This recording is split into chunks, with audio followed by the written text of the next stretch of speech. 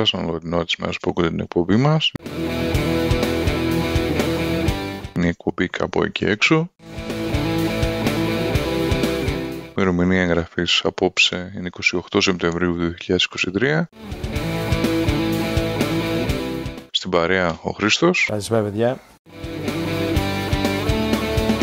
ο Θοδωρής Καλησπέρα και από μένα. και ο Μιλών Τάσος. Λοιπόν, παιδιά, έτσι ξεκινώντας ας πούμε τη- το σχολιασμό της διεθνούς και μεταπούς σχέση με την Ελλάδα δισ- ιδιοσιογραφίας, θα, σας- θα σας μεταφέρουμε έτσι κάτι από εδώ, ε, από Βρετανία τουλάχιστον. Ε, είχαμε αναφερθεί πριν καιρό ο- στο ότι ο εδώ πρωθυπουργός τέλος πάντων της χώρας αποφάσισε ότι παιδιά καλ, καλή πράσινη ανάπτυξη, εντάξει καλά το πάμε να, να πάρουμε καμιά ψήφο και όλα αυτά, αλλά μιας και θα πρέπει το 30%, το 30% του πληθυσμού να γυρίσει σε- στο μεσονικό επίπεδο διαβίωσης ή να σηκωθεί να φύγει από τη χώρα κάπως. Ε, μάλλον ε, και το τράβη, και τράβηξε πολλά πράγματα πίσω γιατί τα, τα νούμερα δε- απλά δεν βγαίνανε. Ε, τώρα συνε- έχουμε και το, το άλλο κομμάτι που έρχεται, το οποίο είναι το εξής, το οποίο, το οποίο είναι το α- απο- α- άμεσα λογικό και επόμενο, ότι πολλά, πολλά project που είχαν, που είχαν τέλος πάντων κοιτάσματα τα οποία είχαν εντοπιστεί, είχαν ταυτοποιηθεί τέλος πάντων και ξέρουν ακριβώς όχι όπως είναι τα πετρέλαια του Αιγαίου, παιδιά. Αυτά είναι πραγματικά, θέλω να πω ότι ξέρουν που, που είναι, πόσα βαρέλια είναι και όλα αυτά, εντάξει. Γι' αυτό θέλω να πω απλά έτσι μια, μια σπόντα εδώ πέρα για το Αιγαίο, γιατί ακούμε πολλά για τα πετρέλαια του Αιγαίου και λες, ναι εντάξει παιδιά, είναι τόσα πολλά που κανείς δεν ξέρει που είναι. Λοιπόν, εδώ πέρα από την έννοια, μιας και έχουν πετρέλαια και ξέρουν που είναι, εί- είχαν στήσει τα, ε, τα οικόπεδα, τα, αρκετά από τα καινούργια, από τις καινούργιες γεωτρήσεις θα γίνουν σε υπάρχοντα πεδία, τα οποία ήδη είναι υποκμετάλλευση. Κατά συνέπεια, ας πούμε, α, εντάξει, πάντα υπάρχει ένα κόστος ολοκλήρωσης και μεταφοράς και καινούργιου εξοπλισμού και όλα αυτά, αλλά ε, αφού το έχουμε το σου λέει το ρημάδι, θα τρυπήσουμε παιδιά και όσο για το, το λεγόμενο το net zero, δηλαδή την, αντι- την πλήρη αντιστάθμιση των εκπομπών διοξιδίου του άνθρακα που μπορεί να έχει ας πούμε, μια κοινωνία σαν δραστηριότητα, λέει θα το δούμε στο μέλλον. Ε, Τάσο για το φράκι ναι, ναι. μιλάς ή το καινούριο το κοιτάζα που βρήκαν στα Σέτλαντ. Ε, βασικά, ε, Χρήστο, δεν είναι μόνο αυτά. Δεν είναι μόνο στα σελίδα. Είχε, ε, αν, θυμώ, αν θυμάται κανείς, το είχαμε αναφέρει, εντάξει, ήταν ε, τσόντα να το πούμε έτσι, οι, και σκ- στις, πέρα από τα Σέτλαντ είχαν βρει ε, α, πιο χαμηλά σε εμάς εδώ στη Σκωτία, στη Βόρεια Θάλασσα, είχ- είχαν και άλλα κοιτάσματα τα οποία είχαν βρει και τότε είχε, αν θυμάμαι ήταν η Total ή η BP που είχε κάνει αίτηση για να τρυπήσει και είπε η Νίκολα, μιας και είχε τότε το, το COP 20, ποιο ήταν το... Είχαν τη- στη Γλασκόβη την, ε, τη, σ- τη συνάντηση για την κλιματική αλλαγή τέλος πάντων. Λέει, ρε παιδιά δεν μπορούμε λέει, να, είμαστε, να, να, έχουμε, να είμαστε οικοδεσπότες της παγκόσμιας ε, ε, τέλος πάντων συνάντησης για την, για την κλιματική αλλαγή και να δίνουμε άδειες για να τρυπήσουν οι άλλοι στη, στη, ε, στη Βόρεια Θάλασσα. Ε, θέλω να πω ότι υ- υπάρχουν πολλά, υπάρχουν πολλά κοιτάζουν τα οποία είναι αυτά, είναι ακόμα, ξέρεις, είναι οριακά τώρα, αν, αξίζουν, αν υπάρχει λόγος να τρυπήσουν ή όχι, γιατί υπάρχει και από την άλλη μεριά το, το πόσο πάει το βαρέλι, γιατί το Brent, το βρετανικό βαρέλι, τέλος πάντων, γενικά πάντα ήταν ακριβό, ωραία. Όλα τα υπεράκτια είναι ακριβά, σε σχέση, ας πούμε, το πετρέλαιο που βγάζει στη Σαουδική Αραβία, που είναι στην ξηρά.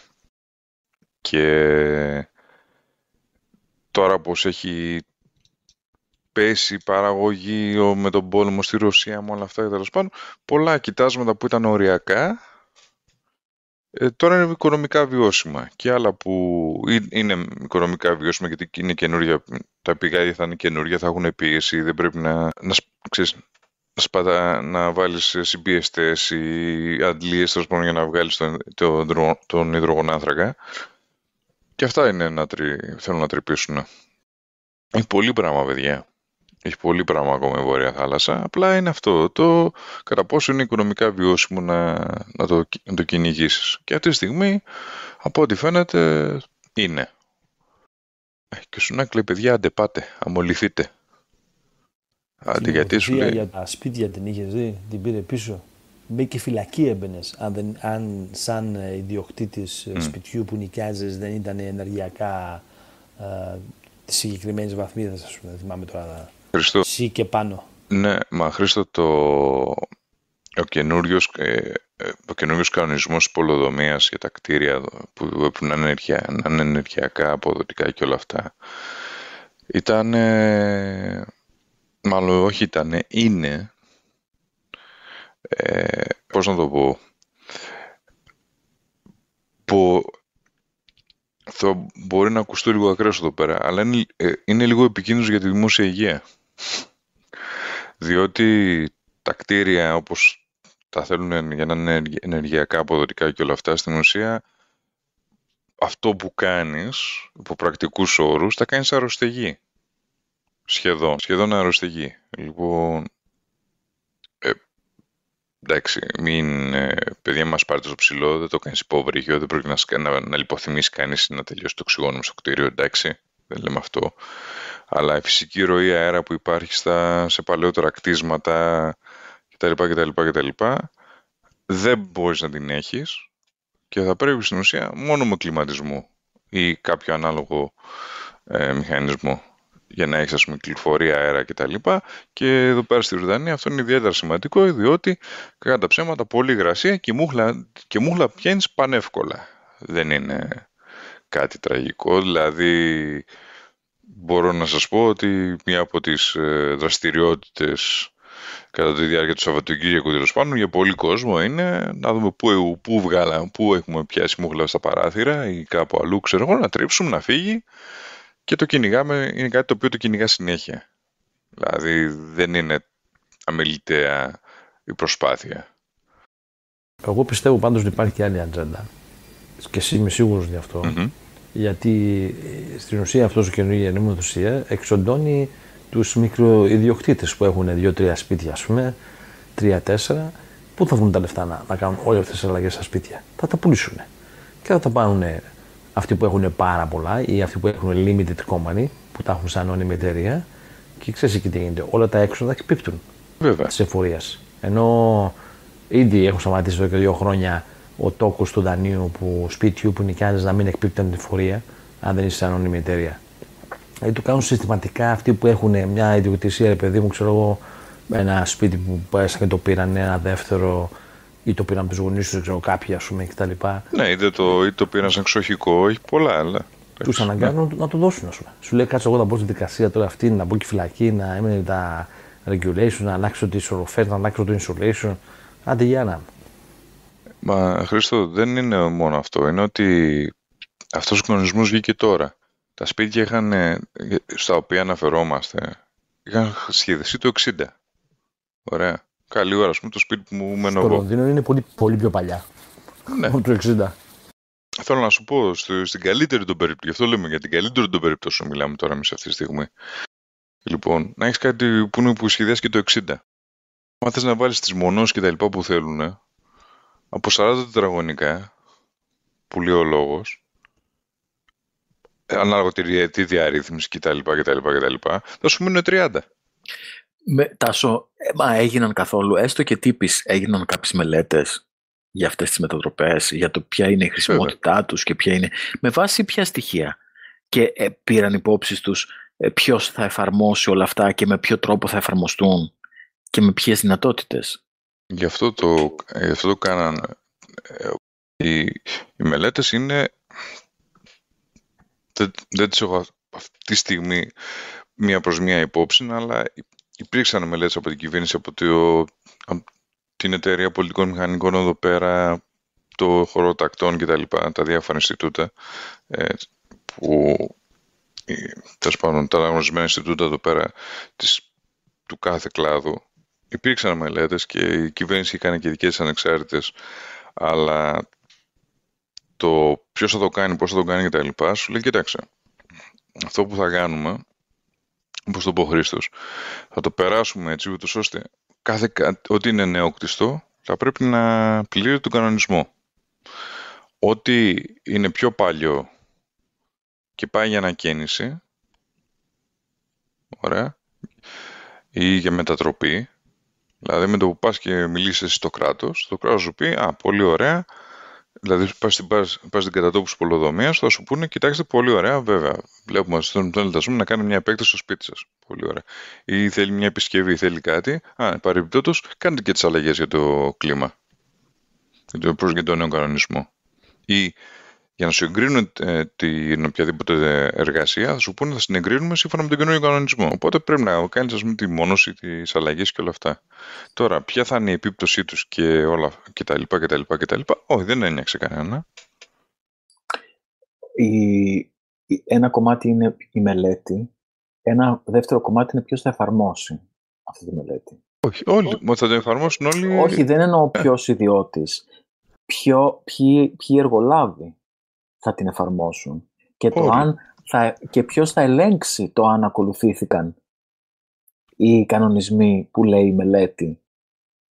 Γιατί ε, στο Κοίτα, είναι πιο εύκολο να σου πω, είναι πιο εύκολο να, να ακολουθήσεις τους κανονισμούς παρά να κάνεις λαμογιά.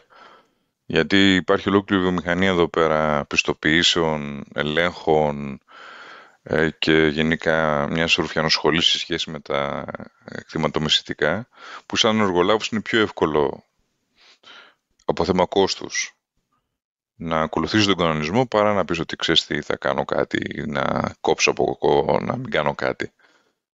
Γιατί υπάρχει, ας πούμε, παρόμοιος χάρη για να πάρει τώρα, παρόμοιος χάρη, ένας μεγάλος εργολάβο εδώ πέρα να πιστοποιήσει, ε, μάλλον για να πάρει να πάρει το δάνειο. Γιατί πολλοί από αυτούς τους μεγάλους εργολάβου ε, τρέχουν τα, είτε είναι ιδιωτικό, είτε είναι PFI το, το έργο ή οτιδήποτε, τρέχουν μέσω δανείων, δεν το βάζουν τα δικά τους λεφτά.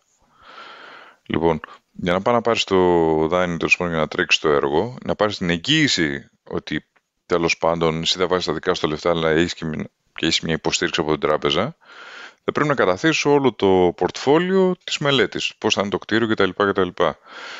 Αφού γίνει αυτό τέλος πάντων, μετά θέλουν να δούνε και από την κατατόπιση πολυδομία, που θα έρθει να επιθεωρήσει το, το έργο και τα λοιπά, για να, συνεχίσουν να, για να συνεχίσει κατά τη διάρκεια τους της ε, κατασκευής να έχει την ε, υποστήριξη, θα πρέπει να δούνε ότι ήρθε η πολυδομία και σε έλεγξε. Και όντως όλα ισχύουν. Άρα να μην ανησυχούμε όλα, θα γίνουν σωστά όπως πρέπει. Άρα εντάξει. Ε, ναι, αλλά το θέμα είναι αυτό, Δωρή, ότι ε, είναι λίγο τυφλό αυτό που κάνουν. Δηλαδή τυφλό με την έννοια ότι... Οριζόντιο. Ναι, οριζόντιο και δεν έχει...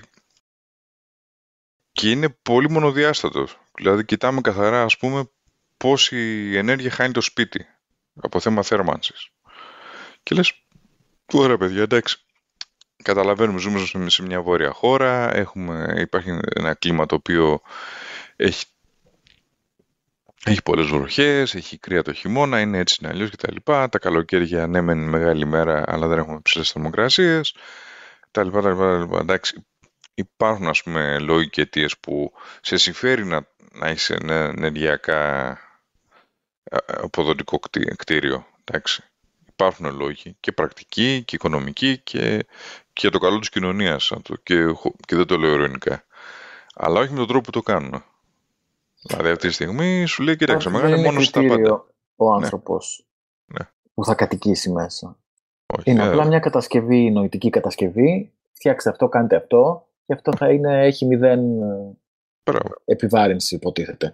Συν το γεγονός ότι, ε, με συγχωρείς εγώ, ε, επειδή τα, τα βλέπουμε και τα έχουμε ξαναδεί, και όχι μόνο στην Ελλάδα, αυτό είναι και εδώ το φαινόμενο, ε, εγώ πιστεύω ότι και στο θέμα των υλικών, των συμβολέων, το τι ακριβώς θα προτιμηθεί, τι δεν θα προτιμηθεί. Ε, θα, δεν, μπορεί, Εννοείται θα πάνε ότι με ό,τι πιο φτηνό. Ναι, το κάτι πρέπει να πάει και στην τσέπη. Δεν μπορεί τώρα έτσι.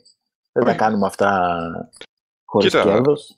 Κοίτα, Θοδωρή, το, αν θυμούνται οι ακροατές μας πριν ε, τρία ή τέσσερα χρόνια όταν είχαμε τη μεγάλη πυρκαγιά στο Γκρένφελ, τον πύργο, στο, που ήταν δημοτική κατοικία και και πόσος κόσμος, διότι είχαν βάλει ε, πανέλα γύρω-γύρω από το κτίριο για, για, το, για, για το κάνουν πιο όμορφο, χωρίς, ας πούμε, επί να αλλάξει κάτι ε, ε, στη δομή του κτηρίου, στη διάρρυθμισή του ή οτιδήποτε. Απλά του, το καλύψαμε απ' έξω για να, για να μην φαίνεται το, το τσιμέντο και, πήγαν, και πήγαν, πήγε και πόσος κόσμος σε εκείνο το κτίριο. Για αυτό το λόγο. Ε, κάτι παρόμοιο φαντάζομαι θα γίνει και με, τα, και με τις μονώσεις, με όλα αυτά που θέλουν να βάλουν. Ότι κάποιος θα βρει κάτι, α, α, μας κάνει αυτό, ξέρω εγώ. Θα ρωτήσουν όλοι, παιδιά, είναι, το, το έχουμε δει για, ξέρω εγώ. Ναι, ναι, μωρέ, εντάξει είναι, ξέρω εγώ, εμπίπτει σε αυτή την κατηγορία, δεν, δεν, δεν το τεστάρει κανείς.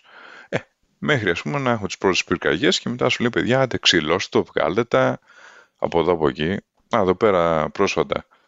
Δεν είχαμε τώρα στη πολλά σχολεία που φτιάχτηκαν το 80 και το 70 που ήταν, είχαν μια συγκεκριμένη κατασκευή πομπετό το οποίο στο παρόν, στο εδώ κλίμα είναι εντελώς εκατάλληλη και άρχισαν να καταραίουν οι στέγες το, στις, αίθουσες, του δημοτικού, δημοτικού γυμνασίου. Τώρα βγήκανε. Όταν, όταν είχαν πάρει την απόφαση και το περάσανε έτσι χαλαρά, εντάξει, τότε ήταν και η κατασκευή έγινε σωστά, δηλαδή σύμφωνα με τις προδιαγραφές.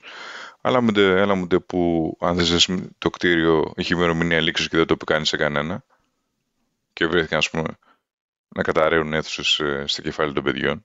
Εδώ, ναι. Και δυστυχώς όλα τα σημάδια και όλες οι τέλος πάντων τα γνωρίσματα αυτής της τέλος πάντων δεν θα πω βρετανικής απόλυτα, αλλά αυτής της νοοτροπίας ας πούμε, πολλών μοντέρων κυβερνήσεων που σου λένε θα το κάνουμε τώρα και όλοι κοιτάνε ας πούμε, το πολύ στην πενταετία, στη δεκαετία, μετά δεν τους νοιάζει. Λέει, ε, ό,τι θα κάνουν προεκλογικά θα το θυμηθούν στις επόμενες εκλογές, άμα δεν γίνει καμιά ζημιά, δεν πάθει κανείς τίποτα, εντάξει, μετά το ξεχάσει ο κόσμος, το ξεχάσουμε κι εμείς. Με το Λονδίνο τι γίνεται με το ουλτραλό ημίσιο πέρασε τελικά; Εφαρμόζεται. Δηλαδή το πρόστιμο. Ναι, ναι, εφαρμόζεται κανονικά. Υπάρχουν διαμαρτυρίε έντονες. Αλλά δεν, ε, δεν, δεν έχει ανατραπεί. Πάντως τα αυτοκίνητα να γίνουν όλα ηλεκτρικά με το 2030 το πήγαν πίσω. Ναι, ε, Όμως ε, υπάρχουν εταιρείες που ισχυρίζονται ότι δεν θα κυκλοφορήσουν, δεν θα παράξουν άλλο. Η Nissan. Η Nissan βγήκε και είπε ότι δεν θα βγάλει μέχρι το 2030 τέλος. Το οποίο εντάξει. Ένα, ε, κοίτα, ένα-ένα. Γιατί κάτι το οποίο καλό είναι να έχουμε στα υπόλοιπα ε, ότι αυτή τη στιγμή γενικά στους κινητήρες γενικά στις μηχανές εσωτερικής καύσης αλλά συγκεκριμένα στους κινητήρες ε, αυτοκινήτων υπάρχει ένας σφοδρότατος πόλεμο, τον οποίο, ο οποίος εντάξει δεν είναι, είναι ειδικού ας πούμε ενδιαφέροντος, αλλά αυτή τη στιγμή παίζουν, υπάρχουν τρεις εναλλακτικές. Το υδρογόνο, το οποίο έχει τα προβλήματά του, το ηλεκτρικό υβριδικό, πάλι με τα προβλήματα που έχει, και το τρίτο, το οποίο, στο οποίο φαίνεται ότι ίσως να είναι το μέλλον μας, θα δούμε, μιλάμε ε, το σπρώχνουν κάποιες γερμανικές εταιρείες, μία από αυτές είναι η Porsche, μιλάμε για συνθετικά καύσιμα. Και τώρα, να μου πει κάποιος, εντάξει, θα, θα πει συνθετικό καύσιμο και τι διαφορά κάνει. Η διαφορά είναι στο εξής, ότι σε σχέση, αν θέλουμε να μιλήσουμε για εκπομπές ρήπων, διοξίδιο του άνθρακα και όλα αυτά, εντάξει, σε αυτό το, σε αυτό το πλαίσιο λογικής, αν συμφωνούμε, διαφωνούμε κτλ., είναι μια άλλη κουβέντα. Σε αυτό το πλαίσιο συζήτηση, λοιπόν, σου λέει το εξής. Ε, η λογική των συνδετικών καυσίμων είναι εξής. Λέει, κοιτάξτε, αν εγώ παράγω ένα καύσιμο από φυτική, ζωική άλλη η οποία δεν ανταγωνίζεται με την παραγωγή τροφής. Το, το, πιο, το πρώτο και βασικό. Στην ουσία τι κάνω; Τραβάω διοξείδιο του άνθρακα από την ατμόσφαιρα, μιας και το φυτό μεγαλώνει και χρειάζεται διοξείδιο του άνθρακα για να παράγει τα ζάχαρα κτλ. κτλ, κτλ.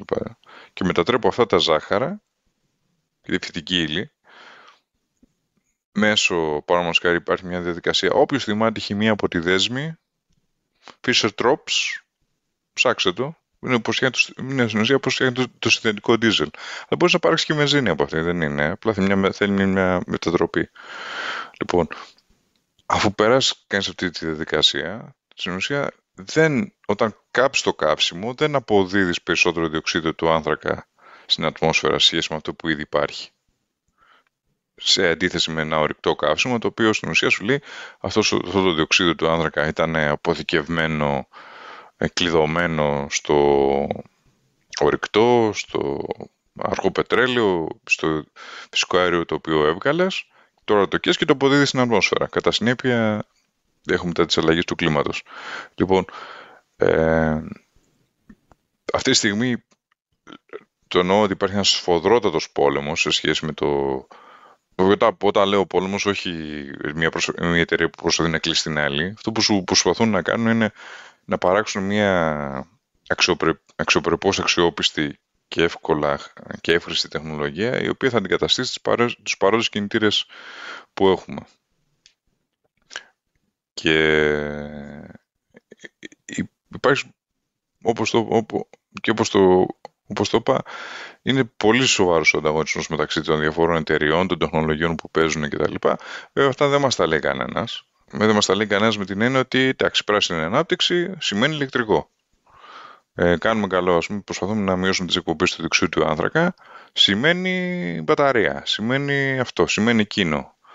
Έχουμε μόνο έναν τρόπο, έτσι, αυτό το, το, αυτό το περίοδο, έτσι, το σοβιετικό, το ότι αυτό σημαίνει αυτό. Και λέει, συγγνώμη, μήπως σημαίνει κάτι άλλο και σου λένε όχι, τι είναι αυτά που λες.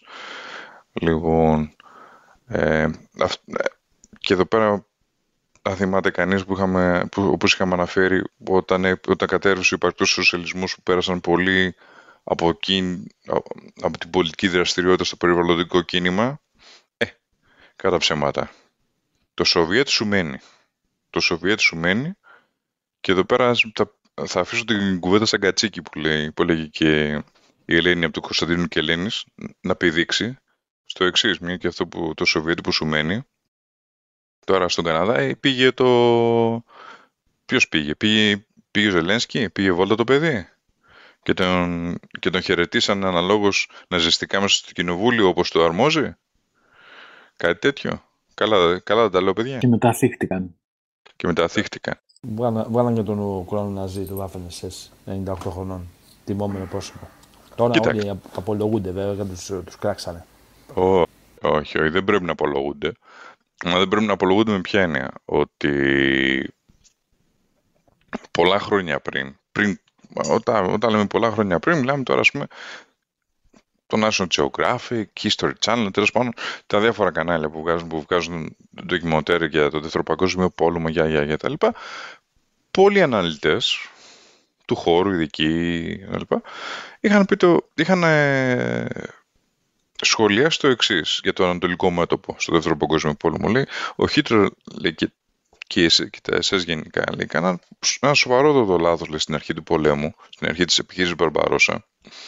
Διότι λέει, δεν δώσαν όπλα στους Ουκρανούς, οι οποίοι είχαν κάθε διάθεση να πολεμήσουν αντίον των Σοβιετικών, γιατί μην ξεχνάμε, ε, το οποίο είχαν κάθε δικαίωμα να έχουν αυτή τη διάθεση οι Ουκρανοί, διότι ο Μπαρμπαστάλιν το 30 τους, τους λιμοκτώνησε. Ωραία. Λοιπόν. Και οπότε η Ουκρανία το θυμόταν αυτό, δεν είχε περάσει πολύς καιρός. Μου φαίνεται εκείνη το 30 είχαν, είχαν πεθάνει γύρω στα 2, 2 εκατομμύρια Ουκρανοί από, από λοιμό εκείνη την περίοδο. Λοιπόν, και αυτός ήταν καθαρά τεχνητός, όχι ότι είχαν κάποιο πρόβλημα με τη σοδιά και οτιδήποτε. Απλά ο Μπαρμπαστάλιν σου λέει: Παιδιά, α, όχι έτσι. Τα μαζέψουμε όλα κεντρικά ε, τέλος πάντων τα στηρά και όλα αυτά, θα ταΐσουμε, θα ταΐσουμε όποιον θέλουμε εμείς και οι υπόλοιποι θα φάτε ό,τι από ό,τι μείνει. Ε, και δεν έμεινε για τους Ουκρανούς τίποτα. Λοιπόν, και θα μου πει κάποιος τώρα το απλοποιείς και το, το λες χονδρικά, να το απλοποιώ και το λέω χονδρικά, αλλά αυτό είναι επί της ουσίας. Ωραία. Τώρα, οι λεπτομέρειες και οι λεπτότητες, ας πάει να... Ε, είναι θέμα βιβλίων, ντοκιμοντέρ και οδηπορικών δεν είμαστε για αυτή τη δουλειά.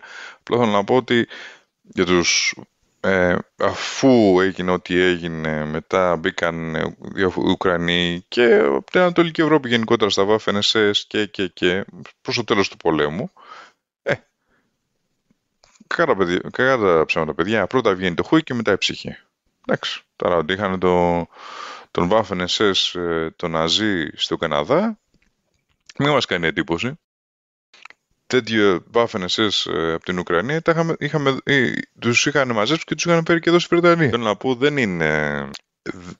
Θέλω να πω ότι προς, απέναντι στο, στο Στάλιν και στην παρέα τους λέει κοιτάξτε ναι μεν αυτή αλλά είναι, αυτή ήταν απέναντι του και μιας και από ό,τι φαίνεται, δηλαδή ήδη προς το τέλος του πολέμου φαινόταν ο, ο ψυχρός πόλεμος είχε ήδη ξεκινήσει στη Γιάλτα και όλα αυτά. Λοιπόν, και λίγο και πιο πριν μπορεί να πει κανείς, αλλά το βλέπανε και σου λέει αυτή είναι δική μας. Γιατί είναι, είναι αντίον των Σοβιετικών. Δεν είναι ότι...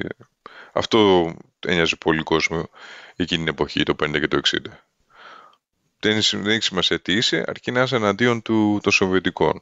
Παραδείγματο χάρη, αλλιέντε. Χιλή και τα λοιπά. Μπορεί να είσαι σφαγέας, αλλά είσαι καπιταλιστής σφαγέας, δεν είσαι Σοβιετικός. Μεγάλη διαφορά. Λοιπόν, δεν ε... μπορώ να βρω την πηγή τώρα. Πέρα από τον Καναδά και οι Ηνωμένες Πολιτείες ε, φιλοξενήσαν πάρα πολλούς Ουκρανοναζί και μάλιστα υπάρχει μια πόλη, δεν θυμάμαι τώρα το όνομα, θα βρουν κάποια στιγμή θα βρουν την πηγή, ενός Ιταλού δημοσιογράφου που έκανε έρευνα, ήταν γεμάτη Ουκρανοναζί, μια κάπου εκεί στο Οχάιο, μια συγκεκριμένη πόλη. Και ο Καναδάς βέβαια ε, περιέθραψε πολλούς από αυτούς. Βέβαια.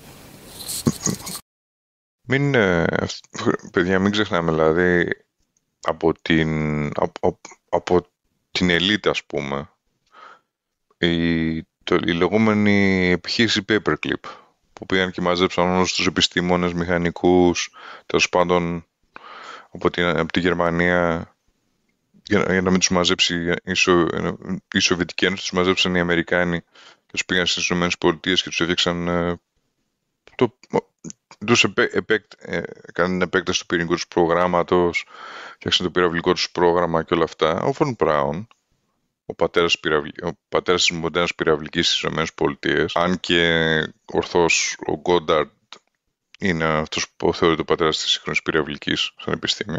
Ωραία. Ο Λεβον Μπράουν, παιδιά, ε, υπό πρακτικούς και άλλους όρους ήταν εγκληματίας πολέμου. Τα εργοστάσια στα οποία έκανε, έστεινε τα, τους πυράζου βιδίου κτλ. Δεν είναι ότι έφτιαχνε όπλα. Εντάξει, κατά τη διάρκεια του πολέμου έφτιαχνε όπλα. Εντάξει. Αυτό δεν είναι το, ας πούμε, το μεμπτό της συμπεριφοράς του. Ήταν ότι όλοι οι εργάτες που είχε ήταν, ήταν μέσω καταναγκαστικών έργων επί της ουσίας και πολλοί από αυτούς ε, άφησαν το κόκα, τα κόκαλά τους κυριολεκτικά στα, στο εργοστάσιο των βιδίων λοιπόν, και τον Βιέννα. Λοιπόν, και αυτό το καλόπεδο, ας πούμε, τον πήραν, τον μαζέψαν τον με, το, με την επιχείρηση Paperclip και τον κάναν, ας πούμε, τον πήγαν στην NASA. Λοιπόν, αυτός τώρα, αν πεις, είναι ο Σιμένων. Αλλά τέτοιο κόσμο από κάτω είχε πάρα πολύ. Τους μαζέψαν γιατί τους λέει: Κοίταξε, από τη στιγμή που εσύ δεν πας στους Σοβιετικούς, άσχετα με το τι έκανες, αρκεί που δεν πας στους Σοβιετικούς. Αυτό μας κάνει. Μας φτάνεις. Λοιπόν. Και μέχρι και στη Βρετανία είχαμε βαφένεσες από την Ουκρανία, τους οποίους μαζέψανε κανονικά και ήρθαν, στην ουσία έγινε η παράδοση τους εδώ πέρα και η διάλυση τους σαν, στρατιωτικές μονάδες.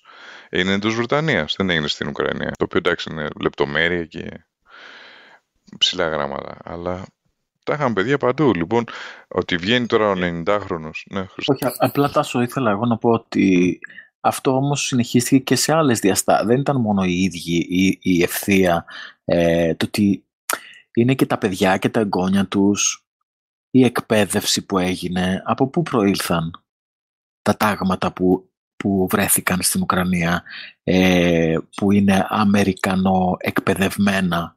Ποιος Όχι. τους Αμερικανό εκπαίδευσε; Όχι μόνο αυτός, ο Ιαζόφ του... Ναι. ναι.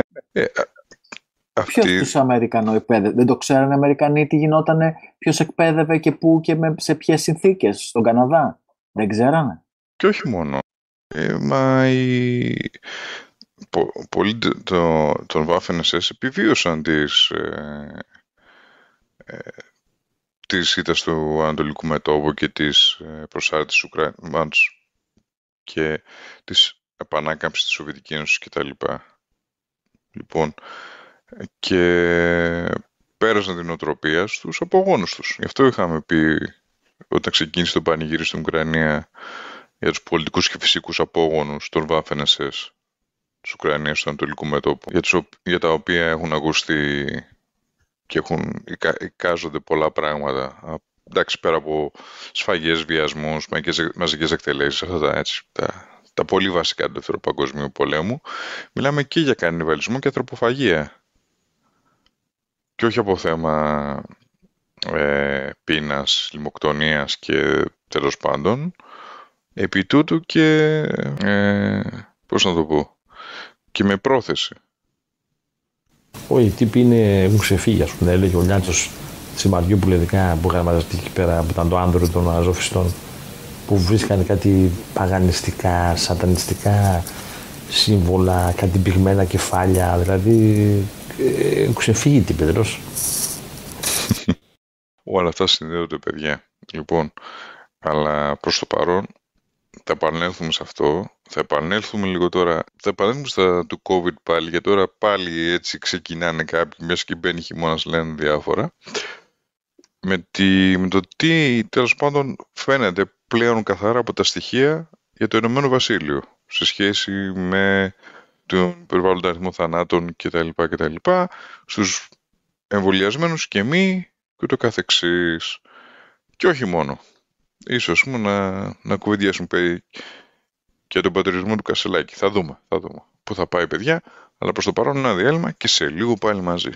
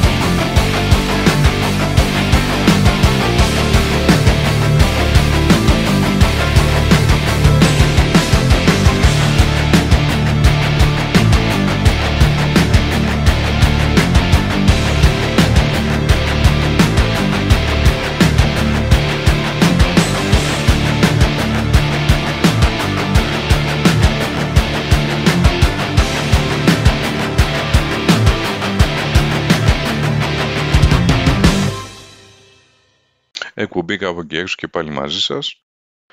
Λοιπόν, όπως ε, είχα, κλείνοντας το πρώτο μέρος, είχαμε αναφερθεί στο ότι στους αριθμού, στον υπερβάλλοντα αριθμό θανάτων στη Βρετανία, μιας και, το ΠΑΜ, ε, μιας και τα στοιχεία έχουν βγει για το 2023, ε, και αυτό έχει να κάνει με το γεγονός ότι ακολουθούν περισσότερο το σχολικό ημερολόγιο και όχι το, το ετήσιο ημερολόγιο τέλος πάντων. Οπότε πάμε από Σεπτέμβριο σε Σεπτέμβριο δηλαδή. Βγήκαν λοιπόν τα στοιχεία, τα επίσημα στοιχεία του Ηνωμένου Βασιλείου, όπως καταγράφηκαν, όπως καταγράφονται, όπως ε, με την οποιαδήποτε αξιοπιστία, τα οποία θεωρούνται γενικά παγκοσμίως από τα καλύτερα στοιχεία σετ στοιχείων που υπάρχουν σε σχέση με το τι έγινε από θέμα εμβολιασμών, από υπερβαλλόντων θανάτων κτλ. κτλ. Και τα αντικειμενικά συμπεράσματα είναι τα εξής. Θα, σας βάλουμε δύο βιντεάκια από το γιατρό τον Τζον, τον Κάμπελ, που έτσι που έχει μια καλή σύνοψη, να, όποιος έχει τη διάθεση να το παρακολουθήσει. Αλλά τα, τα αντικειμενικά στοιχεία λένε το εξής. Το, ότι πρώτον υπάρχει ένας αριθμός θανάτων άνω του μέσου όρου που θα περίμενε κανείς σε σχέση με την ηλικία του πληθυσμού, με το πώς, κιν, με το πώς κινείται υπό φυσιολογικές συνθήκες η θνητότητα στον πληθυσμό, πετήσια κτλ. κτλ, κτλ. Σίγουρα υπάρχει ένας, μεγά, ένας, υπάρχει ένας μεγαλύτερος αριθμός ανθρώπων από αυτό που θα περιμέναμε. Γενικά από όλες τις αιτίες, όλες τις αιτίες το σημειώσουμε αυτό. Και δευτερευόντως, αυτό είναι στην ευχαίρεια του καθενός να το ψάξει ε, περαιτέρω μόνος του με την έννοια ότι υπάρχει μια, ας το πούμε, ανεξάρτητη στατιστική ανάλυση των στοιχείων η οποία κάνει μια διπλή αλλαγή πάνω στο, ε, στη, στη, στο βασικό μέσο όρο θνητότητας και συγκρίνει ένα εκατομμύριο εμβολιασμένους με ένα εκατομμύριο ανεμβολίαστους και βλέπει ας πούμε τα στοιχεία, ε, τι, το, πώς κινεί, το πώς κινείται η θνητότητα. Το συμπέρασμα της συγκεκριμένης ε, ανεξάρτητης ανάλυσης τέλος πάντων είναι ότι στους εμβολιασμένους ο αριθμός των θανάτων του, του υπερβάλλοντο αριθμού θανάτων είναι μεγαλύτερο σε σχέση με τους ανεμβολίαστους. Και, και εδώ δεν μιλάμε μόνο για τον κορονοϊό, μόνο για τη γρήπη, μόνο για το... Μιλάμε γενικά για όλες τις αιτίες θανάτου. Συλλογικά. Και αυτό, σε αυτό σας το μεταφέρω με κάθε επιφύλαξη γιατί και εγώ ας πούμε δεν, έχω, δεν είχα το χρόνο να κάτσω να, να δω ακριβώς πώς πώς έγινε η ανάλυση την οποία παρουσιάζει ο Τζόνον Κάμπελ, γιατί δεν, την, δεν είναι δική του ανάλυση. Είναι μια ανάλυση που του την έχει παρέχει ένας τρίτος, ο οποίος είναι ανώνυμος αυτή τη στιγμή. Αλλά σίγουρα, ε, όχι σίγουρα, αλλά θέλω να πω ότι ό,τι έχω δει μέχρι στιγμής, η, η τεχνική του είναι, ε, έχει λογική. Δηλαδή το πώς κάνει την ανάλυση της, πώς εξάγει τις διαφορές κτλ. Έχει λογική. Τώρα μπορεί να υπάρχουν τεχνικά λάθη εκεί πέρα. Δεν λέω ότι είναι τέλεια και δεν μπορώ να κρίνω αν είναι τέλεια, αλλά όσο το έχω δει φαίνεται ότι έχει λογική. Και εκεί πέρα ο Dr. John να πούμε κάνει τις εξής ερωτήσεις, οι οποίες είναι εύλογες νομίζω από, από, από ένα σημείο και μιας και έχουμε φτάσει εδώ πέρα. Σου λέει, κοιτάξτε παιδιά, να δεχτούμε ότι αυτό που μας είπε η κυβέρνηση ότι αυτά τα εμβόλια είναι ασφαλή. Ωραία. Αν δεχτούμε αυτό, θα, δεν θα πρέπει σύμφωνα με τα στοιχεία, τα επίσημα στοιχεία. Τώρα μιλάμε για το πώς είναι η Ελστάτ στην Ελλάδα. Το ΕΝΕΣ είναι το, η αντίστοιχη υπηρεσία εδώ στη Βρετανία, για όλο το Ηνωμένο Βασίλειο. Λέει, δεν θα έπρεπε σύμφωνα με αυτά που βλέπουμε οι ειδικοί του χώρου να πέσουν πάνω από τα στοιχεία και να μας εξηγήσουν πώς εξηγείται οι εμβολιασμένοι εντός του πληθυσμού γενικά να έχουν αυτή την υπεραντιπροσώπευση στον αυξημένο, στον υπερβάλλον αριθμό θανάτων για το 2023. Υπάρχει έχει και δύο άλλα τρία σημεία στα οποία στέκεται, αλλά εγώ θα να σταθώ σε αυτό συγκεκριμένα, διότι δεν μιλάμε πλέον ας πούμε, για θέμα ερμηνείας ή ξέρω εγώ η Ελλάδα έκανε εκείνο, η Σουηδία έκανε εκείνο, όλος έκανε το άλλο. Και τέλος πάντων είχαμε διαφορετικά αποτελέσματα και όλα αυτά. Τώρα πλέον έχει περάσει αυτή η φάση. Τώρα μιλάμε, τώρα βγαίνουν τα σποτάκια για το booster. Πάτε να κάνετε booster, παιδιά, μην χάσετε την ανοσία σας και όλα αυτά; Το ξεκίνησαν πιο νωρίς, να μην χάσουμε στην Αγγλία. 10 Σεπτεμβρίου, ένα μήνα πιο νωρίς. Εν, ενώ ταυτόχρονα αυτή τη στιγμή στη Σκωτία μαθαίνουμε ότι πολλοί κόσμος ε, επειδή δεν είχε διαγνωστεί εγκαίρος καρκίνος του και παρόμοιες ασθένειες πάει και πληρώνει ιδιωτικά γιατί δεν μπορεί να περιμένει στην ουρά για να μπει στη θεραπεία για, στο, στο Εθνικό Σύστημα Υγείας και όποιος έχει παιδιά υπόψη τι, κοστίζει, τι κοστίζουν τα, τι, τα αντικαρκυνικά φάρμακα μπορεί να φανταστεί για τι κόστος μιλάμε αυτή τη στιγμή για ένα κομμάτι του πληθυσμού εδώ πέρα. Αλλά παρόλα αυτά, πάντα κάνετε τον booster, παιδιά. Κάντε τον booster, γιατί λεφτά για αυτά έχουμε. Να κλείσουμε, ας πούμε, να, κλείσουμε να κάνουμε μονοκαλία για το, σύστημα, το εθνικό σύστημα υγείας για δύο χρόνια, είχαμε δυνατότητα. Αλλά τώρα αυτή τη στιγμή ε, δεν, σας, δεν σας δι, δεν διαγνώσει ο καρκίνος σας εγκαίρως και τέλος πάντων και χρειάζεται μια πιο επιθετική θεραπεία, όλα αυτά, ναι, θα περιμένετε. Δεν μπορείτε να περιμένετε, πάτε να πληρώσετε. Λοιπόν. Κορζιλό και λαιμό. Mm-hmm. Του ανέφερε η Σουηδία, να μην το ξεχνάμε, να το λέμε αυτό. Με την τελευταία μελέτη του Ιωαννίδη του, είπαμε στις προηγούμενες εκπομπές, η Σουηδία που δεν έκανε lockdown, δεν υποχρέωσε εμβόλια κτλ. Είναι η μοναδική χώρα στην Ευρώπη που δεν είχε μείωση της περιβάλλοντος αθλησιμότητα τα τρία χρόνια της πανδημίας, 2020, 2021, 2022, με τα προηγούμενα τρία χρόνια. Μείωση. Εδώ πέρα όμως να, να παρατηρήσουμε το εξής μονοχρήστο, ότι η μείωση ήταν εντός του, των προβλεπόμενων ορίων. Δηλαδή αυτή η διακύμανση που είχαν, δεν, δεν, δεν μιλάμε ότι ξαφνικά ας πούμε, είχαν 20% μείωση. Εντάξει, ήταν ας πούμε, στα, δηλαδή, με άλλα λόγια θέλω να πω ότι είχαν μια φυσιολογική κίνηση. Δηλαδή, αν δει κανείς τα στοιχεία και δεν έχει υπόψη το ιστορικό ε, περιβάλλον του, της εκείνης εποχής, δεν θα, θα πει ότι εδώ είχαμε, είχαμε κάποιο γεγονός, κάτι σημαντικό έγινε. Ναι, αλλά το ισοζύγιο ήταν αρνητικό όμως. Ναι, βέβαια, βέβαια. Σε σχέση με τους υπόλοιπους. Ναι, είναι σχέση... αρκετά σου λένε, χτυπητό αυτό το πράγμα. Βέβαια, βέβαια.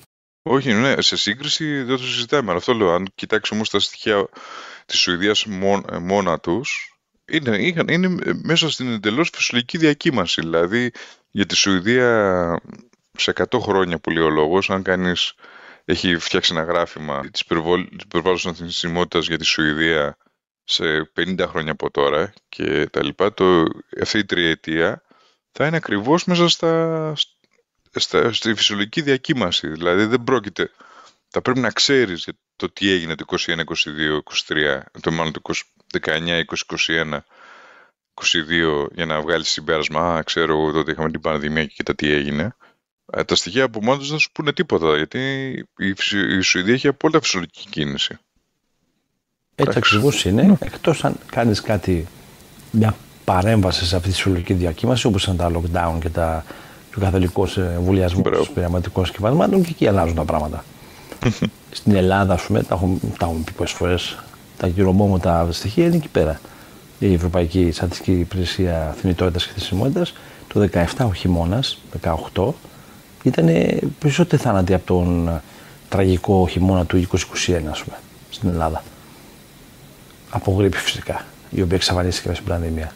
Και δεν, και, και δεν κουνήθηκε φίλο. Αυτή ήταν η φυσιολογική διακύμαση που υπήρχε. Κάποιες, κάποιες χρονιές ήταν πολύ πιο άσχημες από άλλες. Έτσι ακριβώς. Κοιτάξτε, δυστυχώς, ε, μιας και μιλάμε για φυσιολογικέ διακυμάνσεις και στατιστική και όλα αυτά, δυστυχώς το... ο πόλεμος είναι, είναι καθαρά επικοινωνιακός παιδιά πλέον, διότι όπως ε, το ίδιο κάναμε με, το, με τον κορονοϊό, τη γρήπη ή οποιαδήποτε ασθένεια. Το ίδιο έγινε τώρα φέτος το καλοκαίρι με τις, θερμο, με τις θερμοκρασίες. Αν θυμάται κανείς, ε, βγαίνανε ας πούμε, στα διάφορα κανάλια, Ευρώπη, Αμερική, δεν έχει σημασία πού σου βγάζαν κάποιες θερμοκρασίες, ήταν οι χάρτες όλοι κόκκινοι, πορτοκαλί, κίτρινοι, σου βγάζαν τις, ε, τις θερμικές κλίμακες και όλα αυτά. Και λέγες, και κάποιοι παρατήρησαν το εξής, οι οποίοι με την πολλά από αυτά τα κανάλια CNBC, ABC, και, και, και Ολλανδικά και Γερμανικά κανάλια έχουν, έχουν παρουσία και στο YouTube και βάζουν βιντεάκια και για τον καιρό και για οτιδήποτε. Και για τις ίδιες θερμοκρασίες, πριν τρία, πριν τρία χρόνια, τέσσερα, η, η χρωματογραφία, να το πούμε έτσι, ήταν αυτό που θα περίμενε κανείς. Δηλαδή, πολύ χονδρικά, τα οποία θα μου πει κανείς ρωτάσουν μια, μια χρωματική κλίμακα. Άμα βάλεις, ας πούμε, το κόκκινο το βάλεις στους 50 και το μπλε τους βάλεις στους μείον 20 και τα υπόλοιπα, ας πούμε, τα βάλεις, τα χωρίσεις αναλόγως, θα, τέλος πάντων ο χάρτης θα έχει ένα συγκεκριμένο χρώμα. Ναι, σίγουρα.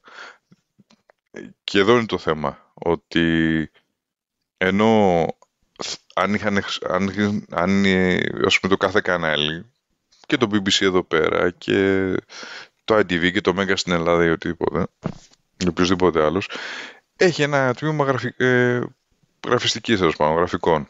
Ε, η, αν παράγουν, ας πούμε, για το δελτίο καιρού παράγουν ε, κάρτες με θερμικές κλίμακες που σου λέει, ας πούμε, που σου κοκκινίζει μια περιοχή, στην κάνει πρωτοκαλία ανάλογα τη θερμοκρασία που θα έχει, τη μέση θερμοκρασία που θα έχει κτλ.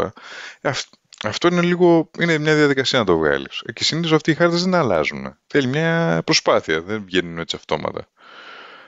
Από θέμα γραφικών, όχι να το βγάλεις στο MATLAB, στο MATLAB είναι πολύ εύκολο. Λοιπόν, ε, κάποιος το έκανε, θέλω να πω αυτό το πράγμα. Δηλαδή, αποφάσισε ότι μέχρι το 2019 είχαμε μια συγκεκριμένη κλίμακα χρωμάτων τα οποία αντικατόπτριζαν διάφορες θερμοκρασίες και οι ίδιες θερμοκρασίες του 2023 θα τις βγάλουμε με πολύ πιο ζωηρά χρώματα. Εκεί πέρα που διδάξει ας πούμε, κάτι, κάτι ελαφριά, κάτι σχέλ, κάτι σχέλ, κάτι ελαφριά πράσινα, κάτι κίτρινα. Ξαφνικά ήταν όλα πορτοκαλί, κόκκινα, βαθύ κόκκινα, ξέρω εγώ. Θα μου πει κανείς, ρε Τάσο, στιλιστική κάνουμε τώρα αυτή τη στιγμή. Όχι, δεν κάνουμε στιλιστική, σε καμία περίπτωση. Αλλά έχει σημασία το πώς παρουσιάζεται κάτι, ας πούμε, σε σχέση με τον καιρό. Γιατί όταν στο, στο το βγάζει όλα όλους, όλους κόκκινα, λες, α, και εγώ είμαστε, ξέρω εγώ. Βράζει, ξέρω, βρά, ξέρω, σκάει ο Τζίτζικας. Ενώ, ας πούμε, πριν τέσσερα χρόνια, πάλι την ίδια θερμοκρασία θα έχεις, την ίδια, τα ίδια προβλήματα θα είχες και την ίδια δυσφορία θα είχες φυσιολογικά ως, ως οργανισμός. Λοιπόν, δεν είναι το ίδιο εκεί πέρα που ως να σου λες «Α, εντάξει, καλοκαίρι είναι, έχει ζέστη που λέει ο λόγος». Ή για να σου λένε, ειδικά στην Ελλάδα, καλοκαίρι είναι, έχει καύσωνα, κλιματική αλλαγή, φωτιές κτλ. κτλ, κτλ. Και όχι τίποτα άλλο. Τώρα μετά τις φωτιές έχουμε τις πλημμύρες, το οποίο είναι το, το, φυσικό, το, το φυσικό επακόλουθο. Το φυσικό επακόλουθο. Βέβαια. Δυστυχώς η Θεσσαλία και ο Βόλο πάλι πληρούνται μετά από τρεις εβδομάδε πάλι. Η αγρία πλημμύρισε. Και πούς ακόμα, ακόμα δεν έχει μπει χειμώνας. Δεν έχει μπει χειμώνας. Ε, ακούσατε ότι αδειάζουν ε, τους, τις περιοχές όπου είχαν φιλοξενούσαν τους μετανάστες στα αυτά τα ιδιότυπα ευρωπαϊκού τύπου νέα στρατόπεδα συγκέντρωσης τους πηγαίνουν στην Νότια Ελλάδα για να μπει ο πληθυσμός που έχει μείνει άστεγος στη Θεσσαλία να μείνει μέσα. Είδες, κάτι βγήκε. Είναι πλέον εξυγχρονιζόμαστε. Νομίζω ότι ήταν το μέλλον που ονειρευόμασταν. Αυτό είναι Ευρώπη. Νομίζω ότι αρχίζουμε σιγά σιγά να μπαίνουμε όλο και πιο ε, στο νόημα. στα ιδεώδη βεβαίως, γιατί αυτό ονειρευτήκαμε και νομίζω ότι πρέπει απλά να καθίσουμε να το απολαύσουμε γιατί αυτό, αυτό που επιθυμείς σου τυχαίνει. Λοιπόν, ας ζήσουμε λοιπόν το ευρωπαϊκό μας όνειρο, μετανάστες στον τόπο μας και ο συμβολισμός δεν είναι απλά συμβολισμός, είναι η πραγματικότητα που ζούμε και, και ας περιμένουμε λίγο ακόμα. Κοίταξε, τώρα όπως λες το θα περιμένουμε λίγο ακόμα.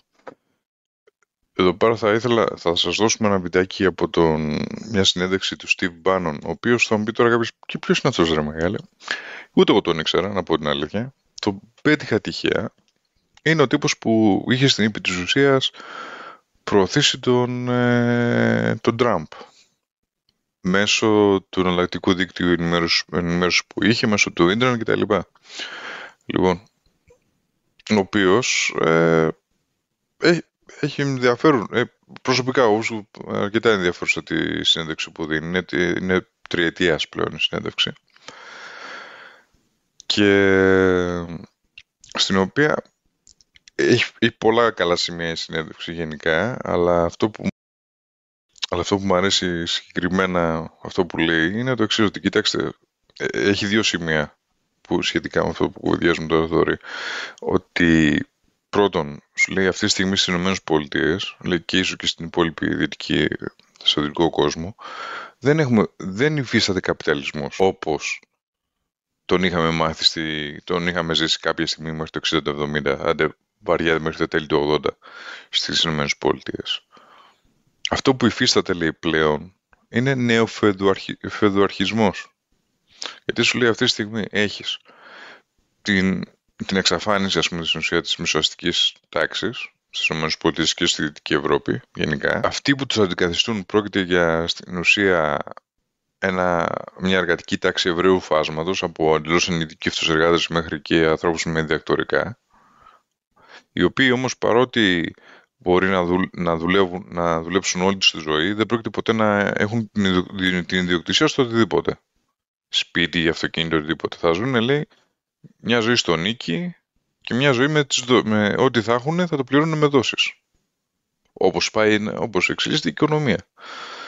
Λοιπόν ένα αυτό, το οποίο αν το σκεφτεί κανείς, εκεί πάει το πράγμα. Και το δεύτερο είναι το εξής. Σου λέει, κοιτάξτε, λέει στι ΗΠΑ, αυτή τη στιγμή η εδώ ελίτ δεν έχει κανένα πρόβλημα να κρατήσει τη χώρα σε μια κατάσταση διαρκούς παρακμής, ελεγχόμενης, και, ελεγχόμενης διαρκούς παρακμής. Λέει, ώρα, τα πάντα λέει καταραίουν γύρω μας. Ο θεσμός της οικογένειας, κρατικές δομές, η εμπιστοσύνη του πολίτη προς το κράτος, όλα αυτά. Και μιλάει το, οπότε όταν μιλάει για την κατάρρευση του, του, της χώρας, μιλάει και, και θεωρητικά και πρακτικά. Αλλά λέει αυτή τη στιγμή η ελίτ των ΗΠΑ δεν τους νοιάζει. Είναι ευχαριστημένοι με το, με το γεγονός ότι το Federal Reserve, η τράπεζα, τυπώνει χρήμα και αυτοί βγάζουν ε, με τα παιχνίδια που παίζουν, με επενδύσεις, με ομόλογα και όλα αυτά. Οι υπόλοιποι, για τους υπόλοιπους εμάς δεν τους νοιάζει. Και το μόνο που λέει και από θέμα πολιτικής αντιπροσώπησης έχεις από τη μία λέει την τώρα εντός, ε, εντός πολλών εισαγωγικών κατά με αριστερά των ΗΠΑ τους δημοκρατικούς οι οποίοι είναι το, είναι το κόμμα που αντιπροσωπεύει του, την, την ανώτατη πλέον τάξη στις ΗΠΑ και ίσως και τους Ρεπουμπλικάνους που ήταν πάντα κόμμα της εργατικής τάξης το οποίο όμως δεν έχει καμία σχέση με την εργατική τάξη πλέον. Σου λέει, λέει πάνε και λέει, προωθούν το ελεύθερο εμπόριο. Κάνουν αυτό, κάνουν, δηλαδή κάνουν υπερνεο, έχουν τους, τους νεο, νεο, νεοφιλελεύθερους, νεοσυντηρητικούς κτλ. οι οποίοι είναι full στον το δρόμο που χάραξε η Θάτσερ, χωρίς να αντιλαμβάνονται πού, πού πάει αυτό το πράγμα, ειδικά όταν έχεις να ανταγωνιστείς με, με μια Κίνα. Αλλά παρόλα αυτά αυτοί συνεχίζουν εκεί πέρα. Λοιπόν, και εδώ είναι το ειδοποιώς διαφορά, παιδιά. Μάλλον όχι και εδώ αυτό πρέπει να το κρατήσουμε για το τι συμβαίνει στην Ελλάδα και γενικά στην Ευρώπη.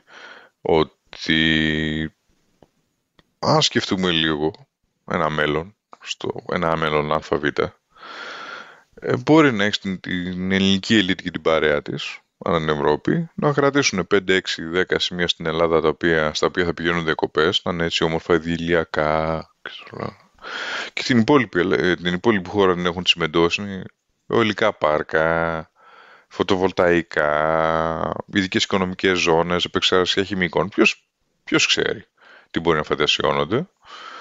Και όσο για τον πληθυσμό, ε, παιδιά, εντάξει, λέει, αφού έτσι κι αλλιώς ναι, με τον έμφυα, έμφυα και τα λοιπά, σε λίγο θα καταλήξετε όλοι να πληρώνετε νίκη στο σπίτι σας. Ε, οπότε δώστε το το ρημάδι, να κάνουμε και εμείς ας πούμε κάτι με, έτσι, με κτήματος, με συστικά και τα λοιπά, να κάνουμε και κάποιες ώρες με ωραία μπάζα και εμείς, να φτιάξουμε ξενοδοχεία, να κάνουμε μια ανάπτυξη έτσι που καταλαβαίνουμε εμείς και εσείς ε, θα σας δώσουμε εκεί πέρα κτίρια τα οποία μπορεί να είναι, ξέρεις, στο επίπεδο αγροτικής φυλακής, να πάτε να μείνετε μέσα Και όποτε μπορείτε να βγαίνετε, να μας δουλεύετε και εμάς, να μας καθαρίζετε κανένα κήπο, να μας πείτε κανένα μάξι, ό,τι μπορείτε ξέρω εγώ. Γι' αυτό πάμε δηλαδή εμπρός πίσω. Είχαμε τη Φεδοαρχική Ευρώπη, τώρα επανέρχεται η Φεδοαρχία, η Φεδοαρχία με άλλο τρόπο. Τάσο και με την ευλογία του Βατικανού, ε, ο οποίος ναι, πήγε, επισκέφθηκε τη Μασαλία και έκανε ανακοινώσεις ε, και φυσικά ε, ε, ε, παρότρινε όλους τους Ευρωπαίους να ανοίξουν τα σπίτια τους ε, και να μπουν οι μετανάστες μέσα. Επιτέλους φτάνει πια. Φτάνει πια να θες να έχεις το δικό σου σπίτι, τη δική σου ιδιοκτησία. Πρέπει επιτέλους ε, να δικαιωθεί η κατάργηση της ιδιοκτησίας στην, στην Ευρώπη με τη βούλα του Πάπα. Ε, κοίτα, περίμενε, κάτσε τώρα. Ε, δεν μπορεί τώρα, μπορεί. Ε, ωραία, εντάξει, τώρα ο Πάπας θυμήθηκε, ας πούμε, την κοινοκτημοσύνη του 385. Ε, ε, δεν μπορεί πια να θεωρείς ότι η Ευρώπη είναι δική σου. Πρέπει να ανοίξουν οι πόρτες πρέπει να ανοίξουν οι πόρτες. Έβαλε χέρι και στους Πολωνούς που σταματήσαν να πουλάνε όπλα, να δίνουν όπλα να πουλάνε. Να δίνουν όπλα στους, ε, στους Ουκρανούς, έγινε χαμός. Πώς, είναι, πώς τολμάτε; Και γνωρίζετε η Πολωνία ε, που είναι καθολική χώρα και ε, βγήκε και τους είπε ξεκάθαρα, ευθαρσός, ότι πώς τολμήσατε να σταματήσετε να δίνετε όπλα στην Ουκρανία. Πώς είναι δυνατόν αυτό το πράγμα. Και η, η απόφαση βέβαια της Πολωνίας ήταν η απόφαση ότι οι, οι αγρότες πρέπει να πουλήσουν και πρέπει να καταναλωθεί το σιτάρι τους και δεν μπορεί να κάνουν εισαγωγές από άλλες χώρες. Ε, ναι, μα έχουμε δικό μας δηλαδή. Ναι, δεν είναι, ναι, αλλά δεν έχει σημασία. Για τον Πάπα αυτό δεν έχει καμία σημασία. Το αν πεθάνουν κάποιοι χιλιάδες αγρότες, είπαμε δεν μπορεί να είσαστε, να, ε, είσαστε μοναχοφαγάδες, να θέλετε τα δικά σας ε, πράγματα. Δεν μπορεί να πηγαίνετε κόντρα στη στρατηγική.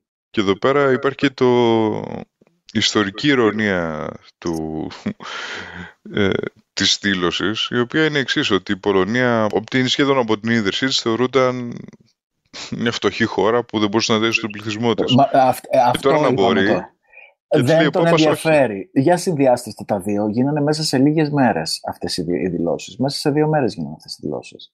Για συνδυάστε αυτά τα δύο να δείτε τι ακριβώς, ποιο είναι αυτό το κοκτέιλ και πώς, από πώς υποστηρίζεται από τα κέντρα εξουσίας όπως είναι το βατικανο Γιατί δεν ανοίγει, αφού θέλει να ανοίξουν τις πόρτες τους Ευρωπαίοι, γιατί δεν ανοίγει το Βατικανό να μπουν από τα υπόγεια μέχρι τα ανώγεια είναι μικρό το Βατικανό, ρε. Δεν χωράει, εντάξει. Ε, όχι, ο καθένας πρέπει να κάνει, να μας δώσει το παράδειγμα. Εμείς δεν καταλαβαίνουμε. το λες. Εμείς είμαστε στενόμυαλοι, δεν είμαστε μπροστά. Ε, είναι και αυτό, ναι, στην, Στην ναι. φαντασίωση του, του Πάπα δεν είμαστε μέσα, τη θεάρεστη. Ε, θέλουμε λίγο χρόνο να έρθουμε κοντά ε, σε αυτό το έργο, το θεάρεστο, για να μας δώσει το παράδειγμα. Γιατί δεν το κάνει, να δούμε. Γιατί δεν ανοίγει τα πουγκιά, τα δικά τους πρώτα, της τράπεζάς τους και των, και των χρηματοδοτών τους. Έλα ρε Δωρή, αυτά είναι τώρα, είναι από... Είναι, είναι, του Θεού, δεν είναι δικά μας. Ε, ε, ναι, αυτά, αυτά. Είναι, είναι του Θεού, είναι θεάρεστα. Αυτά Αυτό. είναι, δεν είναι δικά μας τώρα. Επειδή λοιπόν είναι έτσι, ακριβώς, όταν είσαι υπεράνω λοιπόν, βάζεις τον εαυτό σου σε αυτή την ε, ε κατηγορία των υπεράνω και μετά βγαίνεις από κάτω στη, στην πλέμπα και δίνεις εντολές και δεν σε ενδιαφέρει τι παθαίνουν οι, οι ίδιοι, γιατί ακριβώς πρέπει να υπηρετήσεις τους σκοπούς που πρέπει να υπηρετήσεις αυτούς που υπηρετούσε πάντα ιστορικά. Ε, όταν είναι οι Ναζί στην εξουσία, δεν λέμε τίποτα. Όταν ανεβαίνει ο φασισμός, ακόμα τίποτα ίσα ίσα. Μας βολεύει και συνεργαζόμαστε άνετα μαζί τους και τα λοιπά και τα λοιπά και τα λοιπά, για να μην πάμε πιο πίσω. Έτσι, για τα πιο πρόσφατα. Ε, κοίτα και πίσω να Επειδή είπες για φεουδαρχία. Αυτό με και την, πίσω με να την ευλογία, με το σταυρό στο χέρι γινόταν το σύστημα της φεουδαρχίας και του έλεγχου του πληθυσμού και του πώς χειριζόμαστε τον αγροτικό πληθυσμό και τι ακριβώς κάνουμε πάνω στον αγροτικό πληθυσμό. Κοίταξε. Να μην ξεχνάμε ότι η φεουδαρχία στην ουσία ήταν η, η απάντηση της υποκατάρρευσης ε, Ρώμης και την περί, και τα, ε, ε, περί τη Ρώμη Βασίλεια σε σχέση με τη, με, το, με τη χρεοκοπία των αγροτών οι οποίοι αποφάσισαν ότι κοιτάξτε θα πάω να γίνω σκλάβος γιατί τουλάχιστον εκεί πέρα σαν σκλάβος ε, έχω περισσότερα δικαιώματα από το ως, ε, ως ε, τέλος πάντων ε, κάτοχος χρεών. Λοιπόν, και αυτό το ε, και αυτό τέλος πάντων το, το όλο το πλαίσιο το συνέχισε και μπόρεσε μόνο να συνεχιστεί με, την ευλογία, με, με τη βοήθεια, με την ευλογία της Εκκλησίας. Διότι όταν ξαφνικά μεταφέρεται η πρωτεύουσα της Ρωμαϊκής Αυτοκρατορίας στο, στο, στην Κωνσταντινούπολη, οι Ρώμοι έχουν εισβάλει όρδες βαρβάρων κτλ. κτλ στείνονται τα διάφορα δουκάτα, βασίλεια, την Ευρώπη και ούτω καθεξής. Ε, κάποιος έπρεπε να, να ε, πώς, να, να νομιμοποιήσει την εξουσία των ανθρώπων που πήραν και κατσικώθηκαν στους εκεί πληθυσμούς. Λοιπόν, δεν δηλαδή το χρήσμα που λέμε, ότι πρέπει να πάρεις το χρήσμα από τη Ρώμη για να γίνεις βασιλιάς και όλα αυτά, ε, έγινε μόνο και μόνο για, για να διατηρηθεί το, το θεσμός της φεουδαρχίας. Γιατί πολύ απλά ο άλλος μετά θα σου λέει «Α, παιδιά, τι έγινε, έκλεισε το μαγαζί». «Α, ωραία, Αυτά είναι δικά μου, το, το, το χωράφι είναι δικό μου. Τα χρέη που είχα, ε, προφανώς η διεύθυνση έκλεισε το μαγαζί, έφυγε. Κατά συνέπεια, από τη στιγμή που δεν έχω αφεντικό, αφεντικό είμαι εγώ. Δεν μπορούσε να είναι έτσι. Δεν μπορούσε να είναι έτσι, γι' αυτό και στήσαμε το σύστημα της φεδοαρχίας. Πάλι, το συντομεύω πάρα πολύ. Έχει, έχει λεπτές και έχει διάφορες λεπτότητες το όλο εγχείρημα και ιστορική περιόδος κτλ. κτλ. Ναι, το ξέρω. Εντάξει. Αλλά το βασικό θέμα ήταν αυτό, μια, μια τρομερή χρήση χρέους του γενικού πληθυσμού, η οποία αντιμετωπίστηκε με αυτόν τον τρόπο. Δηλαδή, στην ουσία, σου λέει εντάξει, από τη στιγμή που δεν μπορείς να μας πληρώσεις πλήρως, εντάξει, μα δεν μας ενδιαφέρει να μας ξεπληρώσει, αρκεί μα το που μας ενδιαφέρει να πάρουμε τον τόκο. Αυτό γίνεται και αυτή τη στιγμή, αν σκεφτεί κανείς. Στο διενεκέ. Μπράβο. Για ναι. Αυτή τη στιγμή εδώ πέρα στην Ευρώπη, μετά το 2008, ειδικά μετά το 2008 με την τραπεζική κρίση, τι έχει συμβεί στο, σε μεγάλο κομμάτι του κόσμου; Ζεις με πιστοτικές, με δόσεις, με χρηματοδότηση το ένα, με χρηματοδότηση το άλλο.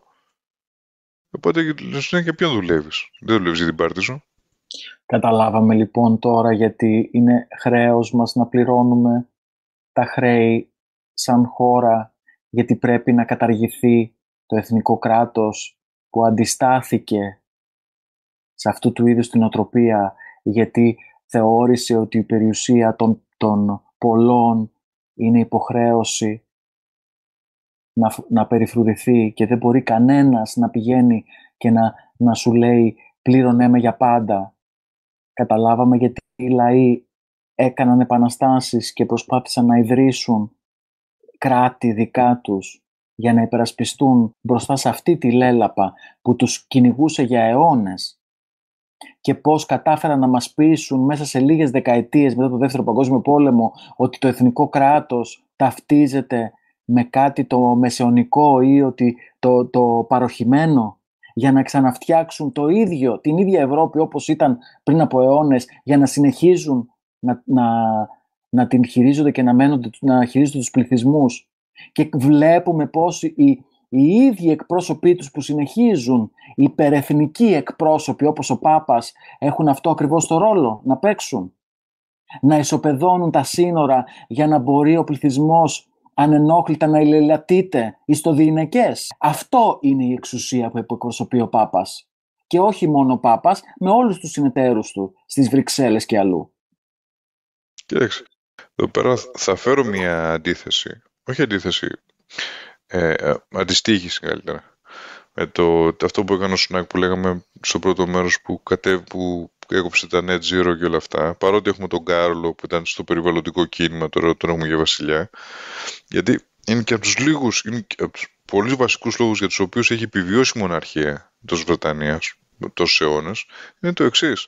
Ήταν οι μόνοι που διαπίστωσαν ότι ε, παιδιά, ναι, ε, αφού τέλο πάντων ε, κάπου από τη μία έχει εκπαιδευτεί ο πληθυσμός, έχει ξυπνήσει, έχουν, έχουν δείξει, έχουν αλλάξει τα πράγματα. ήταν και η μόνη ε, μοναρχία η οποία απέδωσε εξουσία σιγά σιγά σε, σε μεγαλύτερα κοινωνικά στρώματα. Αυτό και είναι και η μόνη μοναρχία η οποία έχει επιβιώσει ως μοναρχία. Θα μου πει τώρα στην Ολλανδία δεν έχουν βασίλισσα, ε, βασιλιά, βασιλεία. Έχουν. Στη Σουηδία, ε, Νορβηγία, ναι, έχουν, αλλά εκεί είναι πολύ ακόμα πιο χαλαρά και τέλος πάντων ε, ε, πεζά τα πράγματα σχέση με εδώ. Εδώ πέρα, αν θυμάστε κανείς τη στέψη του Καρόλου, τι έγινε; Περπαραγωγή ήταν αυτό. Λοιπόν, και αυτό λέω ότι είναι η μόνη μοναρχία στην Ευρώπη η οποία έχει επιβιώσει. Γιατί ήξερε ότι ναι, γιατί έβλεπε τι έκαναν οι άλλοι. Είδαν και πώς φάγανε το κεφάλι τους στη, οι μονάρχη στη Γαλλία. Σου λέει, όπα, μισό. Και, είναι, και δεν είναι τυχαίο ότι πέρα από την Γαλλική Επανάσταση και είναι κάτι σε παραστάσεις στα, στα 1800 την Ευρώπη, οι έμεση, όχι πρώτοι εργάτες, αλλά οι έμεση, οι πρώτοι που υιοθέτησαν το θεσμό του έθνους κράτους, με την Ένωση, με τη Σκοτία κτλ. Ήταν, ήταν εδώ, ήταν οι Άγγλοι. Και μετά η Βρετανία και αυτό που έγινε αυτοκρατορία και τα λοιπά και όλα αυτά. Αλλά οι πρώτοι που το υιοθέτησαν ήταν εδώ πέρα. Και να, μην, και να θυμηθούμε εδώ πέρα και το, τον Άνταμ Σμιθ, ώρα του Γκάλι. Γιατί είπαμε δεν έχουμε καπιταλισμό πλέον, οπότε παιδιά μην ερθίζεται κανένας όταν αναφερόμαστε στον Άνταμ Σμιθ, ο οποίος στο έργο του «Ο πλούτος των εθνών», το οποίο αν μπει κανείς στη διαδικασία να το διαβάσει, έχει κάπου δύσκολους όρους γιατί είναι αρχαϊκή γλώσσα και μιλάει με μονάδες μέτρησης της εποχής του. Εντάξει. Υπάρχει μια, υπάρχουν κάποια, κάποιοι φραγμοί να το πούμε έτσι, αλλά αν κάνεις επιμείνει θα, δι, θα διαβάσεις κάτι πολύ απλό, το οποίο δεν τίθεται θέμα αρχαϊσμού, λέει το εξής. Ε, ο έλεγχος του, του ασημιού στον πλανήτη τον έχει η Ισπανία. Μεγάλη αυτοκρατορία της εποχής. Η, η Βρετανία, σου λέει σαν αυτοκρατορία, είναι μεγαλύτερη, ε, έχει μεγαλύτερη οικονομικό εύρος. Και λέει πού οφείλεται λέει αυτό; Και μιλάμε για μια εποχή του διμεταλλικού νομίσματος. Δηλαδή στην ουσία το, η αξία του νομίσματος έχει να κάνει με το πόσο χρυσό και ασήμι είχες. Λοιπόν, αλλά λέει στο εξής απλό, λέει ότι στην Ισπανία έχουν αυτή την απολυταρχία, το δεσποτισμό και και και, οπότε κανείς δεν μπαίνει στη διαδικασία να ενεργήσει αυτόνομα σαν ιδιώτης ή, σας, ή, σας, ή σε συνεταιρισμό με άλλους ιδιώτες κτλ. Γιατί ξέρουν ότι ανά πάσα στιγμή ο βασιλιάς μπορεί να αποφασίσει ότι να σου πει «Α, ο, καλά τα πας, αυτό που έκανες εσύ τώρα είναι δικό μου». Λέω στη Βρετανία λέει, έχουμε, το, έχουμε το γράμμα του νόμου, την, την, την, την υπεράσπιση της προσωπικής περιουσίας και των ατομικών δικαιωμάτων και και και και.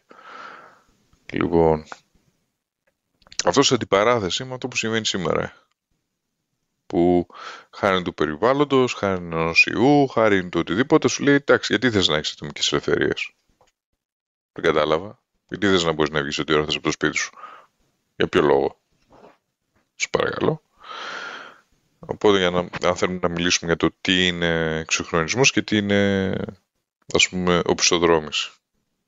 Αυτά πριν, πριν κλείσουμε έτσι θα τα ξαναπούμε και σε επόμενη εκπομπή ε, απλά έτσι να, να αναφέρουμε σαν τίτλο τι συζητήσεις που γίνονται μεταξύ Γαλλίας και Γερμανίας για την Ευρώπη δύο ταχυτήτων. Είναι κάτι που είναι ένα ξαναζεσταμένο φαΐ που πάντα υπήρχε στο πίσω μέρος του, του μυαλού του σαν σενάριο.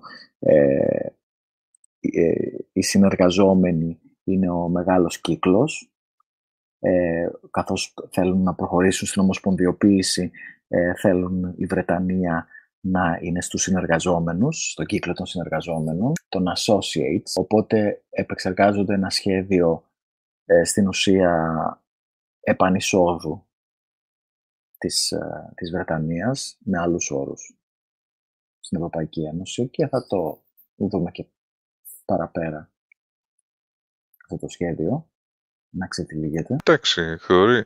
Έτσι, κλείνοντας και εγώ, ας πούμε, πάνω σε αυτό που είπες τώρα, έτσι, καλό να θυμίσουμε ότι από την εποχή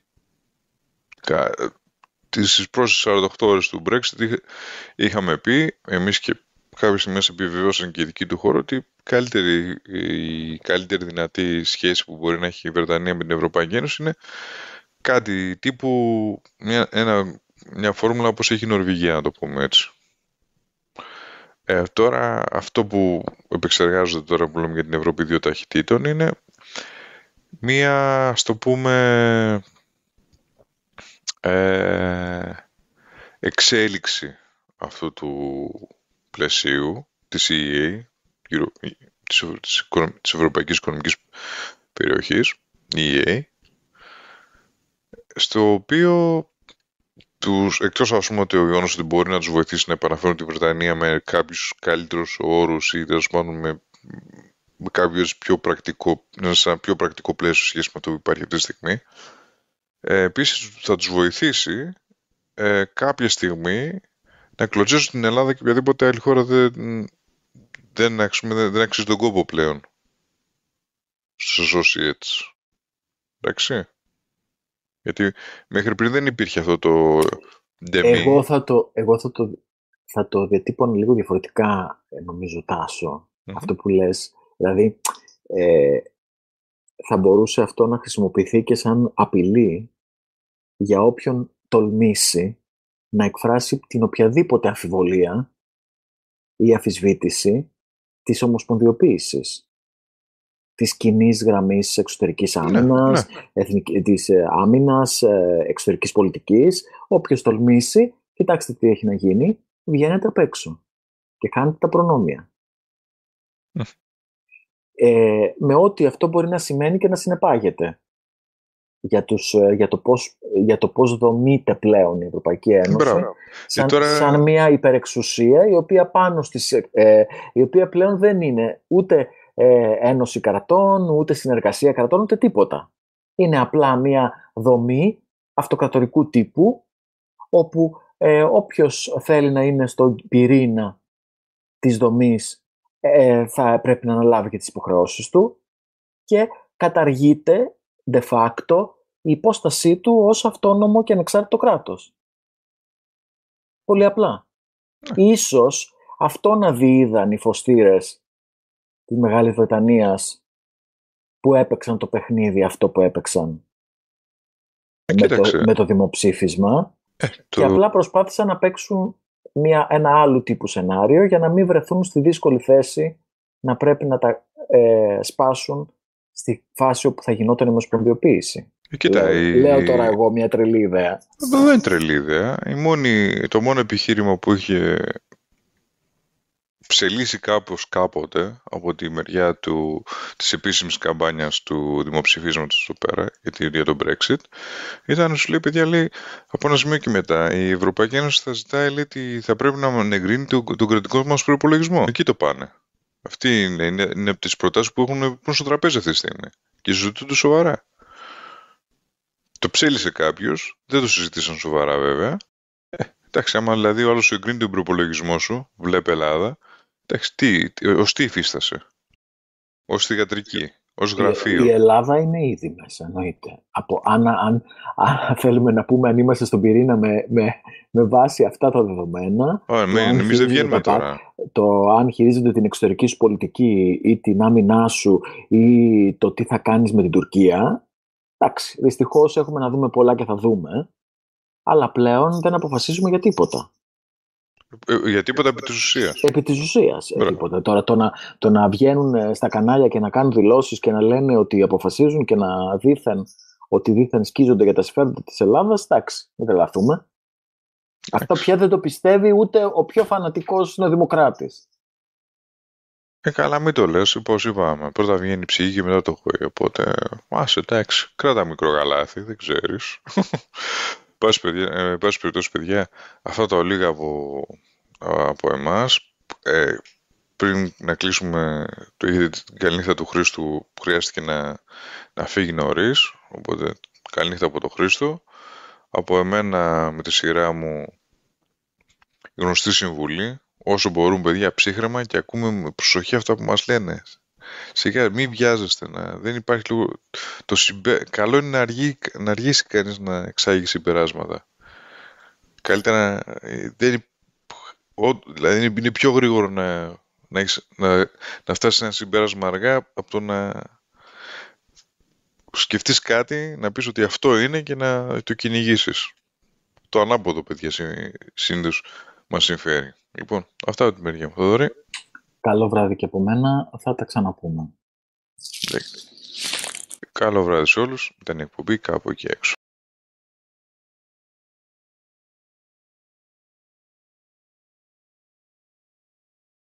Ευχαριστούμε για την παρακολούθηση. Μπορείτε να κάνετε like και εγγραφή στο κανάλι μας για μια αληθινή ενημέρωση. Περιμένουμε τα σχόλιά σας στα βίντεό μας. Η άποψή σας μετράει για εμάς. Να είστε καλά και ελεύθεροι.